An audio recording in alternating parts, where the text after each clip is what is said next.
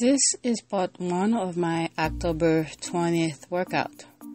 I will be posting part two um, soon.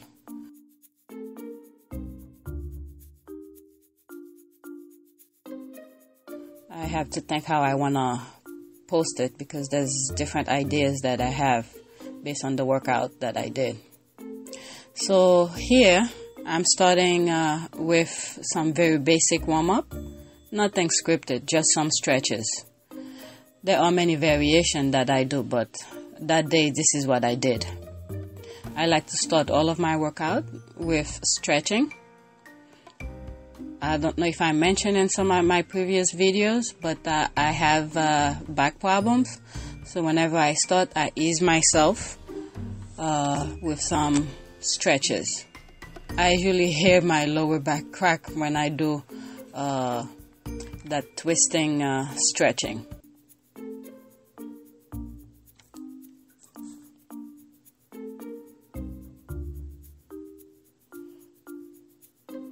So here, as you can see, um, I start my feet a little bit further away and slowly I bring it closer to my body and I squeeze my whole upper body and you know together and my lower back you know, sometimes it does crack a little bit. And here I'm stretching again. Yeah, this one, when I twist my body like that, I every time I do it, I always hear my lower back cracked. It's very good to do. So here I uh,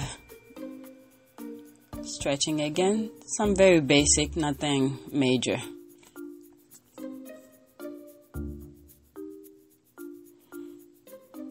Now I'm doing some uh, crunches. Even though you see me do that small movement, my core is very tight. By the time I get to 10 or 12 repetitions, my abdominal is burning.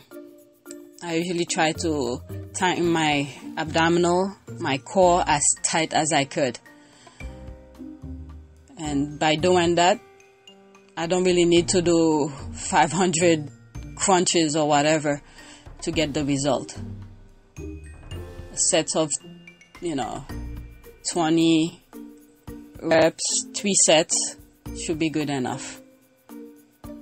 Just remember, I uh, only showing one set of everything that I did that day. But um, once I paused the uh, camera, I did uh, two additional sets, which equals to three.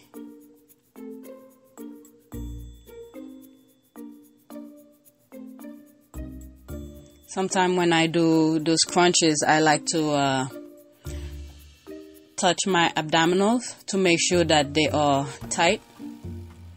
So here I'm doing just side crunches for this way. This kind of movement is for the uh, lower part of my oblique.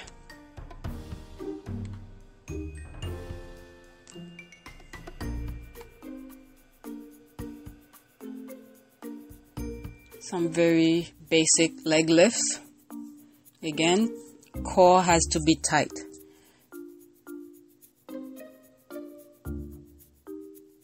That was the first thing that I did, so I don't, I didn't really go crazy with uh, the abdominals. So there are times I special days just to do abs, so I usually go a bit hardcore with that.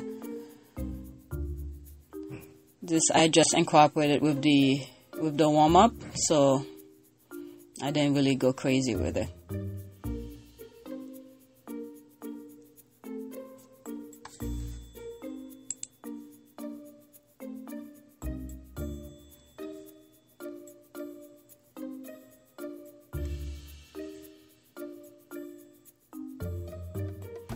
My heart rate, uh, my heart uh, rate uh, watch was going off.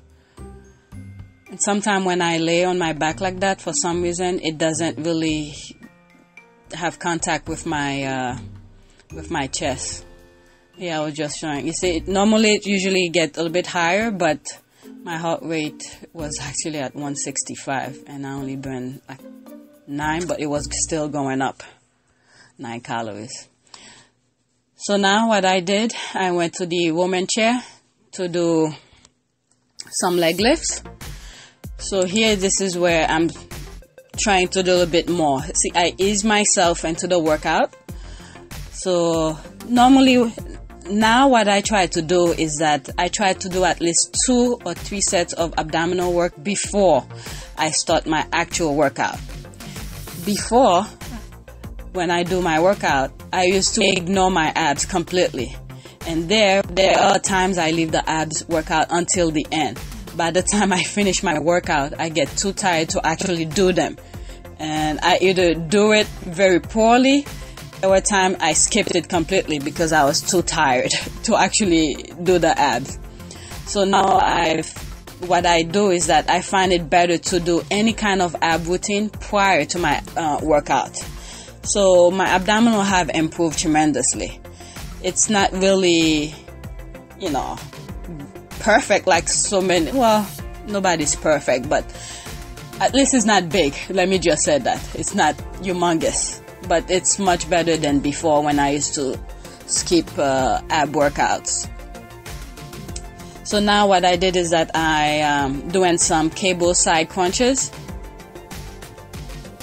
Again, the core has to be tight. If it's not tight, this is useless. See, I'm holding one hand on my abdominal, making sure it's uh, as tight as possible. I actually was doing two things one after the other. I was using the side crunches on. Uh, I was doing side crunches on the Roman chair, and uh, and once I was done with it, I moved to the cable to do the uh, side crunches some more.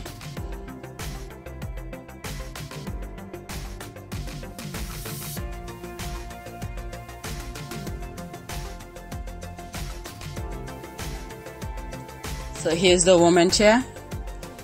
And it's right behind it. That's how close it is. So it's easy for me to just go back and forth. Again, I have a video showing how I do this. Core is as tight as possible to tell you the truth. It doesn't seem like I'm doing much, but it is tight. I'm doing some twisting motion. I'll try to put the link or something of that video how I do this um, this movement. You see, I'm pressing it to show you it's really tight. And as soon as I finish with this, I move to the next machine right behind it to do the cable crunches. And here I think I did uh, 20 rep on each side. And I went to the cable and do a couple reps. I don't remember how many that I did. But usually when I do the Roman chair side crunches, I do 20 on each side either 20 or 12, I don't remember.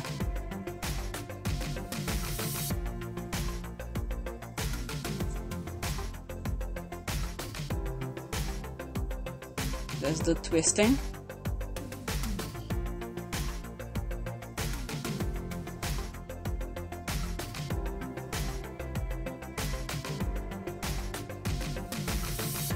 The only thing when I do workout, I never really focus on directly is my glute. I leave it when I do either squats or whatever. I never really do anything beyond to focus on my glutes. So whatever I get from all the other exercise and it work my butt, it's fine. So you see, like I did a couple. My heart rate was really up, and I burned just 46 calories just doing a couple of, these other things. So now I'm working my lower back on the. Uh, that's a different Roman chair.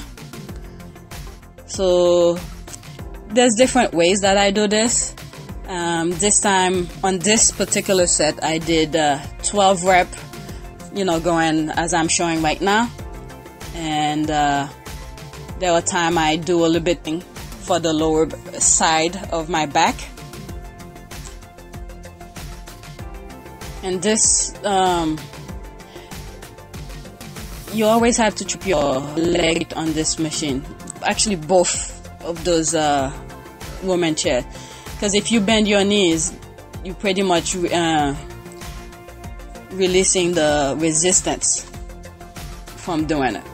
So that was the warm up, and I will be posting the uh, part two of my actual workout. And I hope this uh, video helps, and uh, I hope it gives you some ideas. Thanks for watching.